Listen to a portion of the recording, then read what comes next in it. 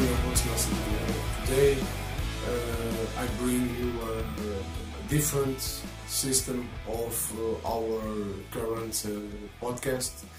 You know, you usually we we used to to do a commentary se- session with uh, our commentator Andrea Perdigão, but unfortunately uh, this week he it was not possible to have him in our in our show. So uh, today uh, we are doing a vlog system, so we can uh, speak a little bit about this club. Uh, this club, the best club in the world for me, of course, Newcastle United. Because today uh, I'm going to to talk uh, during the next few minutes on this vlog about our club, Newcastle United Football Club, and the takeover. And why did I decide today to speak about the takeover? Very simple, because it's annoying me very, very much. Uh, this situation of some people, some uh, clubs in England, some um companies, some bigger, higher forces, let's say they, this way, higher forces, are trying to break down the the Newcastle United takeover.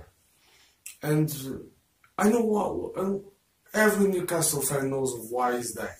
Every Newcastle fan knows why is that. It's because they are afraid. The other clubs are afraid. Are afraid because we know then when the the prince of Saudi Arabia takes control, even is not taking taking direct control of the club, is with other company for with Amanda Staveley. But we all know that when he takes control of our club, we will probably be one of the best clubs in the world, if is if not the best club in the world in terms of uh, football playing, in terms of uh, financial financial strength, in terms of uh, competitions, fighting uh, fighting for titles uh, more often, if not every year, every single year, uh, title after title after title. I know that we are just this close to become the wealthiest club in the world. Everything thanks to the crown prince of Saudi Arabia. But there is one thing that we need to people need to understand. Look, I understand that uh, there is a lot of controversy, a lot of situations about uh, the prince of Saudi Arabia. Everybody knows what's going on. Most of you know what's going on because if you see the news, you see what's going on, the situation with Yemen, and now even Qatar.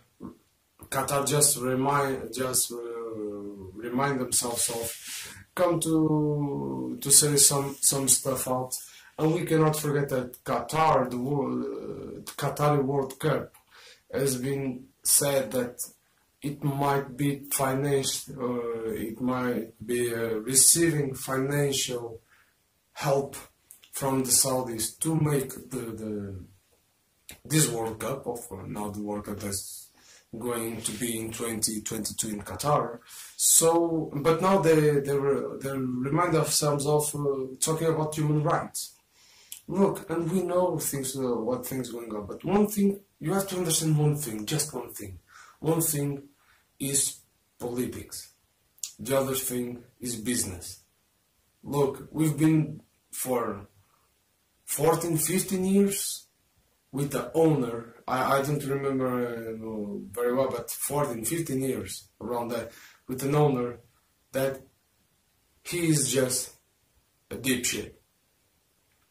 He is just a, an idiot. Look, this is the truth. He doesn't do anything good for our, our club. It does nothing good for our, for our, club. Everything is just about interest. Everything is just about uh, negotiation, uh, about the bad financial decisions. With him, we, are, we already got relegated twice, and we reached uh, semi uh, quarter final of Europa League. If I'm not mistaken, quarterfinal, if I'm not mistaken. If I'm mistaken, guys, just uh, right here in, in, in, the commentary section because I, I right now I, I, I think it was quarterfinals. What else? We don't fight for cups. We don't fight for the for the Premier League. We don't fight for nothing. The, the last thing that we fought was in the Championship in 2017. Was the, the last time that we fought for something. So please, look, guys. Everybody that is against Newcastle, and look, we are good. We are very good fans. We have a great club and uh, we have a great city. For I don't live in Newcastle, but I know Newcastle very, very well. I know our state is uh, St. James's. Look, uh, um, we have great people there. We are great fans. We are fans that we are around the world. A lot, a lot of fans. We have one of the great. We have a great history in football. We have a great history in England look, what is your problem? And I have to say, look, you guys from Man City and uh, Man U and Sheffield, that also has uh, a Saudi owner, if I'm not mistaken. What's your problem? What are you afraid of? Are you afraid that big shark is coming up to, to hunt you? Is that is, is that your fear? You're afraid of that. You're afraid that we want the best for our club. We want our club to rise again from the ashes, to grow up and grow stronger, and uh, have the opportunity to bring some of the their greatest legends to work back in the club, like for for instance Keegan, like Kevin Keegan the possibility to bring such a legend, possible to bring a man that knows so much about football and can help the club reach further. Look, so what's your problem? I have the possibility, who know to bring Shearer, uh, Shearer back, Alan Shearer. Look, we want that. I would love to see Shearer back. I would love to see Keegan back to help the club reach new rounds, higher rounds. So, what are your problems, guys? Are you afraid? Are what now? City now are, is afraid? Uh, what? Man U is afraid, Chelsea is afraid, Arsenal is afraid. Look, what's your problem? Look, we cannot forget that in 2004, if I'm not mistaken, 2005, no, 4, 4, it was 2004, Abramovich reached just in 2003, if I'm not mistaken, in 2004. We cannot forget that in 2004, uh, Abramovich, when he hired Mourinho, he spent about 500 million pounds, around 500 million pounds, if I'm not mistaken, 450, 500 million pounds. And at that time, I didn't see many people uh, jeopardizing uh, the, the man I saw everybody say, oh, because he brings the big money and he's going to change change the club, he's going to change the system and the football system. But I didn't see many people reach to the point and oh, uh, we cannot forget the kind of business he he has and uh, the environmental pollution that that creates the, the business that he has with the, the, the, the gas and things like that. Look, I didn't see uh, I saw some people. I didn't see so many people talk about that as we are seeing now with the possibility, with possibility that it's almost sure that we are going to have the Crown Prince of Saudi Arabia as our new owner, as the our new president in Newcastle United. So, guys, look to the other clubs and to all the the human rights uh, companies or the non-profits or non-governmental organizations, whatever you are. Look, I understand and I respect what you do. I really do. But understand one thing. One thing is what happened in the countries around the world that uh, Saudi Arabia can be involved and all those situations. Other thing is business, okay?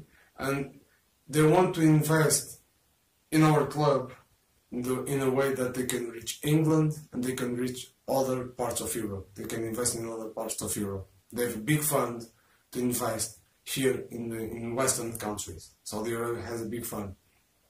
And they decided to invest on our club so they can reach also uh, other markets and can invest in other markets. So, okay, that's all right. And I understand that. But look, I'm not feeling sad. I'm not feeling annoyed for crown prince of Saudi Arabia decide to come to invest in our club. I'm not annoyed. You know what? Because for many, many years, me as so many other fans, but look, for me as a fan that lives abroad and rarely has the possibility to go to the cathedral to see the match, to St. James's, look, it's very sad, it's very complicated. Sometimes I want to see the, the matches on TV and I don't see them. You know why? Because Newcastle, in this part of Europe, is not a big club as it is as the, the London clubs, as Chelsea, as Arsenal, and so on. And Arsenal used to be a great club. One day it was. One day it was a great club. In or three or four, yeah, and then those times they, they were a big club. Not anymore. Everybody see what Arsenal does. But even though Arsenal have, instance, here in, in, in Portugal, Arsenal can have have more matches shown on TV than Newcastle has. And Newcastle has a much greater history than uh, than Arsenal. That's the reality. Sorry, but that's the reality. And we are seeing, you know, sometimes I, I, I, you have no idea the effort I have to do to be able to see my club's matches. Sometimes it's very tough. And one thing I know with this, with this takeover, I'll be able to see on the TV, on sports, on the sports TV, I'll be able to see more matches. Because look, for a, fan that is abroad, that doesn't have the possibility to go so often to the cathedral to see the matches, this, for me, guys, it's great. It's not great. It's fantastic. It's just fantastic. Be able to look at TV, even even I don't see the match live at the right time at 3 p.m. or at midday or whatever. If I just can see the match at night, one thing is for sure, I can record the match. I can reach the end of the day, uh, Labor Day, my Labor Day, and I can go home and enjoy the match and know and know that I have a club, I support the club, I pay for a club that fights for something. That fights for something. And another thing, and these are really, I, I really hope that this happens. For instance, I have my merchandise here at home. I don't have everything. I don't have the scarf here. I have the scarf in another place, and the hat and all that is in the, the coat is in the in the other room. I just have here in my room my my flag, and I'm here with with shirt. But there is one thing that's for sure. Look, it's not understandable that we we have one of the most expensive merchandises in all England, in all the Premier League clubs. We have one of the most expensive merchandises, uh, merchandise stores, and uh, it's complicated because for people that live in economies like I live, sometimes I would like to buy some merchandise direct direct from the club store and I don't buy because I don't want to give money to that bastard. Because I don't want to give money to a guy that doesn't respect our club, that doesn't even care about our club. That's the reality. But not not try to get much further off the topic, uh, far, far away from the topic. The idea, the situation is about the, the, the, the takeover. One thing is for sure, it's almost done and uh, even the championship is stopped because of all this coronavirus situation. Everybody's locked down, is in lockdown and all that. I must admit, it, it couldn't come in better time. It couldn't come in better time, and I must admit, I'm happy. I'm from one from one side, I'm very happy because at least we have the opportunity to see our club to change hands and have someone that really wants to invest, that really wants to take our club further. And one thing, and I'm almost sure, not 100% sure, but I'm very, well, let, let's say closely sure that all Newcastle United fans agrees on this. Is with this investment, with this takeover, our club will reach further and people will have more will. It doesn't matter if it's just people from Newcastle or people around the world, the world, but we will do everything. So every time, it doesn't matter if you have more money, less money, that's not the matter here. The matter here is we will do everything to help our club and we'll be more times at the stadium. We'll buy more merchandise direct from the store and we'll do everything to see our club reach further. That's what I think, and that's what I hope to happen. So uh, I don't want to take this vlog much further. I just want to talk about one thing more, and that's about the manager. Look, I know uh, this is uh, this is for Mr. Steve Bruce. I know that you've been doing what you can with the resources that the club gave to you and uh, even knowing that, and I consider this weird, having so many injuries during a season, uh, like a ratio of like seven, eight, seven, eight injuries during most of the season. That's just strange, very strange.